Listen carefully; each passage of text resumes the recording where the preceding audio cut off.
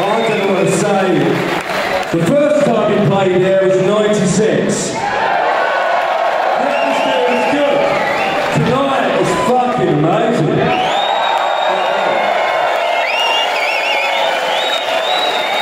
It's a very special place for us to come back to because the first Leftfield gig happened here in 96 and the last one has happened here so far.